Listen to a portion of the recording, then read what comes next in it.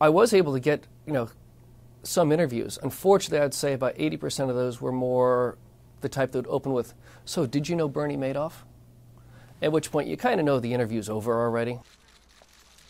You know, I didn't really know Bernie per se, but I interacted with the Sons quite a bit. In most regards, it was a great place to work. I felt like they looked out after you. If you had a personal situation, they're very understanding about it. When you found out about the Ponzi scheme, when the news broke, what was that like? Uh, I think utter shock is the only way you could possibly describe it. I mean, you've been with these people for eight years. You kind of drop your jaw, you put your coffee down. Some, I remember one person actually just literally dropped his cup of coffee and just spilled everywhere. Kind of the coldest shower you could possibly ever take, just in, a, in an instant. And I, I realized that there was a good chance that professionally I was in a really deep hole. Mr. Madoff, say to all those people that lost money, Mr. Madoff? What would you say to them? Of course, at that time, proprietary trading desks were shutting down left and right. We were entering a recession.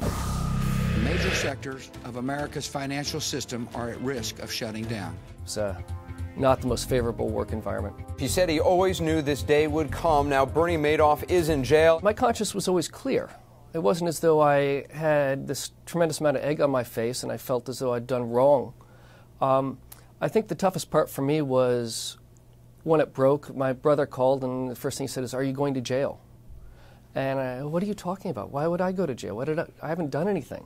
So this is the walk pretty much every day for uh, eight years, ten minutes door to door. I was always expecting SEC or the FBI or one of the groups that came through the doors that day in December uh, to come ask questions. At first, it was kind of exciting. I mean, you'd ride the elevator with the FBI agents, but that was the only interaction. I've looked at sort of regressive employment, if you will, going back to old types of jobs, stuff that I was very successful with. Phone just never rings again. You call them, they don't answer, leave a message. You call them again two days later. Business people like what I brought to the table, but the HR people took a look at it and said, you know, there's a lot of qualified candidates out there. Why would we take a risk on a guy who worked at Madoff? There were a lot of lifestyle things that I was doing. I sort of had to reevaluate. The dining room would overlook Brooklyn and Queens. The living room would overlook uh, Central Park in the west, and it was a pretty spectacular, awesome home. You reevaluate who you are, and you've got to be willing to completely reinvent yourself and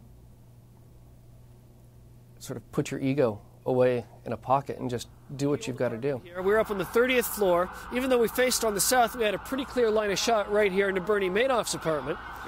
And in fact, I tried to get a couple pictures of him using a long telephoto lens, not to much avail. But back in the days right after the story broke, all of these blocks here were covered in news trucks with the satellite dishes sticking up. Hey, Bernie, give me one nice shot, buddy. Bernie, turn around, buddy. And I would have to come and go through that circus every day to get to the subway or get to a taxi to go someplace. Do you see yourself as a, a victim of the Madoff scandal? I, I don't like to think of myself as a victim, but I've certainly been greatly affected by it. Uh, you know, it affected my personal life. I think it had a lot to do with the dissolution of my marriage. Unfortunately, divorce litigation is expensive. I don't get to spend enough time with them, so when I do, it's pretty, pretty significant. Just, like I said, just to see him out of the blue like that doesn't make your day; it makes your whole week.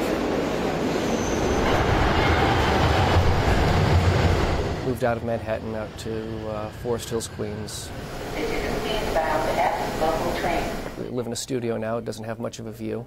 Until I can get situated and start to rebuild myself back up, it's just going to have to do. You applied to a job at Starbucks. Yes.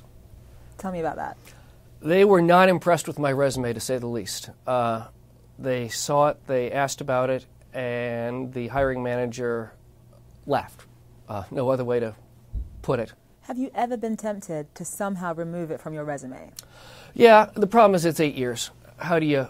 The, the question I ask myself is would I rather be an honest person who worked for a crook, or would I rather be a liar who worked for a crook when it comes out? And once, if you're a liar that worked for a crook, nobody's going to hire you.